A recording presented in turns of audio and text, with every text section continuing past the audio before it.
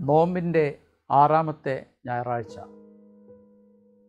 ലോകത്തിന്റെ പ്രകാശമായ യേശുവും അവിടുത്തെ കൃപയിൽ ആശ്രയിക്കുമ്പോൾ നമ്മൾ കാഴ്ചയുള്ളവരാകുവാൻ പ്രാപ്തരാകുന്നു എന്നതാണ് ചിന്താവിഷയം. മാനുഷികമായ കാഴ്ചയിൽ നമ്മുടെ കാഴ്ചപ്പാടിൽ നമ്മൾ ജീവിക്കുമ്പോൾ ആത്മീയ അന്ധതയിലേക്ക് നമ്മൾ പ്രവേശിക്കപ്പെടുന്നു. നേരെ മറിച്ച് ദൈവ കൃപയിൽ നമ്മൾ ആശ്രയിക്കുമ്പോൾ ദൈവീകമായ കാഴ്ചപ്പാട് നമ്മളെ വഴി നടത്തുന്നു. അന്ധനായ മനുഷ്യനെ യേശു കാണുകയും ലോകത്തിന്റെ പ്രകാശമായ ക്രിസ്തു അവനെ കാഴ്ചയിലേക്ക് നയിക്കുന്നു. നമ്മുടെ ശ്രദ്ധയെ ഈ അന്ധനായ മനുഷ്യനിലേക്ക് അല്പമൊന്ന് കേന്ദ്രീകരിക്കാം. ശിഷ്യന്മാർ ചോദിക്കുന്നുണ്ടല്ലോ അന്ധനായി ജനിച്ചത് ആരുടെ പാപം നിമിത്തമാണ്? ഇവന്റെയോ ഇവന്റെ മാതാപിതാക്കളുടെയോ? യേശു പറയുന്നു ദൈവത്തിന്റെ പ്രവൃത്തികൾ ഇവനിൽ പ്രകടമാകേണ്ടതിന് എന്നുള്ള ഒരു വ്യത്യസ്തമായ മറുപടിയാണ് യേശുദമ്പുരാൻ ശിഷ്യന്മാർക്ക് നൽകുക. ഈ മനുഷ്യൻ തന്റെ അന്ധത മാറ്റുവാനായിട്ട് യേശുവിനോട് ആവശ്യപ്പെടുന്നില്ല. നേരെ മറിച്ച് യേശു തന്നെയാണ് ഇവിടെ തുടക്കം കുറിക്കുക. Jesus takes the initiative for the curing of the blind man. യേശു നിലത്ത് തുപ്പുന്നു.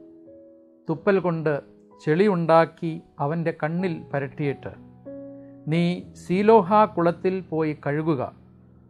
അവൻ പോയി കഴുകി കാഴ്ചയുള്ളവനായി തിരികെ വരുന്നു.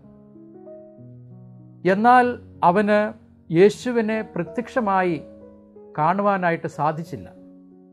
അതുവരെയും യേശുവിനെ അവൻ കണ്ടില്ല. ഇതിനുശേഷം സംഭവിച്ച കാര്യങ്ങൾ തുടർച്ചയായ ചോദ്യം ചെയ്യലും ഈ മനുഷ്യന്റെ വിചാരണയുമാണ്. സാപത്തിലാണല്ലോ രോഗശാന്തി അവന് ലഭിച്ചത്. ഭാവിയായ ഒരു മനുഷ്യന് എങ്ങനെ ഇത്തരം അടയാളങ്ങൾ പ്രവർത്തിക്കാൻ കഴിയും എന്നുള്ള ചിന്തയായിരുന്നു പരിസയർക്ക്. അതുകൊണ്ട് അവർ ഇതിൽ വിശ്വസിച്ചില്ല. തുടർച്ചയായ ചോദ്യം ചെയ്യലിൽ ഈ മനുഷ്യൻ തീർച്ചപ്പെടുത്തുകയാണ് തീർച്ചപ്പെടുത്തുന്ന ഒന്നുണ്ട്. തന്നെ സൗഖ്യപ്പെടുത്തിയത് ഒരു പ്രവാചകനാണ്. അവൻ ദൈവത്തിൽ നിന്ന് അയക്കപ്പെട്ടവനാണ് എന്ന് ഏറ്റുപറയുന്നു. അവസാനം നമ്മൾ കാണുക അവനെ സിനഗോഗിൽ നിന്നും പുറത്താക്കുന്നതാണ്. അപ്പോൾ യേശു അവനെ കാണുകയും വീണ്ടും യേശു തന്നെ അവനോട് ചോദിക്കുന്നു വിശ്വാസത്തിലൂടെ കാണുവാൻ അവനെ ക്ഷണിക്കുകയാണ്. Jesus looking at him and invited him to see in faith നീ മനുഷ്യപുത്രനിൽ വിശ്വസിക്കുന്നുവോ? അവൻ പറഞ്ഞു ഊവ് കർത്താവേ അവൻ ആരാണ്? നീ അവനെ കണ്ടു കഴിഞ്ഞു. നിന്നോട് സംസാരിക്കുന്നവൻ തന്നെയാണ് അവൻ. ഇവിടെ കാഴ്ച ലഭിച്ച ആ മനുഷ്യൻ കാഴ്ചയുടെ വേറൊരു തലത്തിലേക്ക് ഉയരുകയാണ്. To the sight of faith അവൻ യേശുവിനെ പ്രണമിക്കുന്നു യേശുവിനെ ആരാധിക്കുന്നു. ഇവിടെ വിശ്വാസ കാഴ്ചയിൽ അന്ധനായ ഈ മനുഷ്യൻ പടിപടിയായി ഉയരുന്നതാണ് നമ്മൾ കാണുക.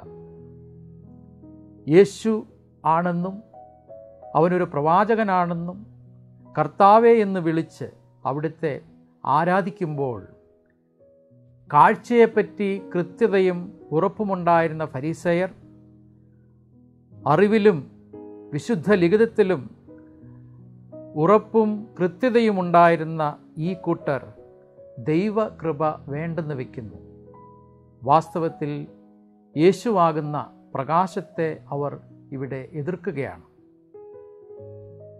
അവരാണ് യഥാർത്ഥത്തിൽ അന്ധരായി തീരുക. കാഴ്ചയില്ലാത്തവർ കാണുകയും കാഴ്ചയുള്ളവർ അന്ധരായി തീരുകയും ചെയ്യുന്നു.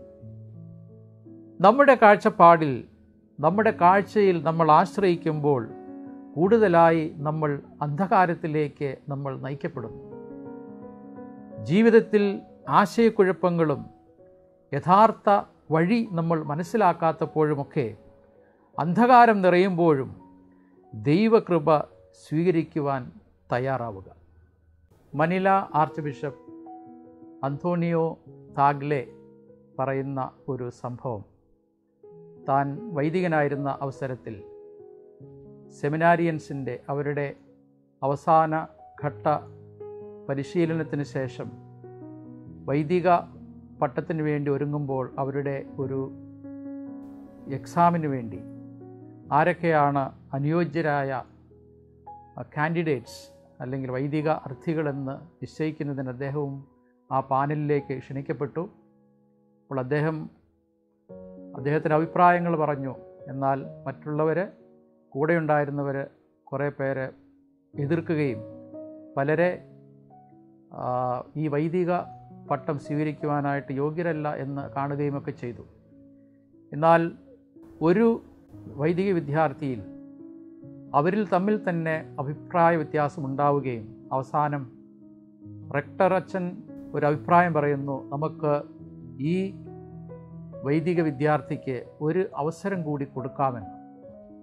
അങ്ങനെ അദ്ദേഹം വൈദികനാവുകയും പിന്നീട് ഈ കർദിനാൾ ഇരുപത്തഞ്ച് വർഷ വർഷത്തിന് ശേഷം ആ സെമിനാരിയുടെ ജൂബിലിക്ക് വേണ്ടി ചെന്നപ്പോൾ ഈ അന്ന് പ്രശ്നമുണ്ടായിരുന്ന ഈ വൈദിക വിദ്യ വൈദിക വിദ്യാർത്ഥിയെ കാണുകയും അദ്ദേഹം ഒരു വൈദികനായിട്ട് അവിടെ നിൽക്കുന്നതും കണ്ടപ്പോൾ അവിടുത്തെ റെക്ടറച്ചനോട് ചോദിച്ചു ഈ വൈദികൻ എങ്ങനെയുണ്ട്?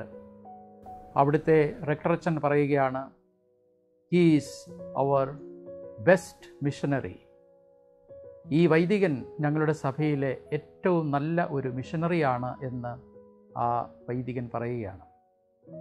ദൈവം എങ്ങനെയാണ് നമ്മുടെ ഹൃദയത്തെ കാണുന്നത് എന്ന് എന്നുള്ളതിന്റെ അടയാളമാണിത്. ദൈവത്തിൽ നമ്മൾ ആശ്രയിക്കുമ്പോൾ നമ്മൾ എളിയവരാകുമ്പോൾ യേശുവാകുന്ന പ്രകാശം നമുക്ക് വഴിവിളക്കാകും.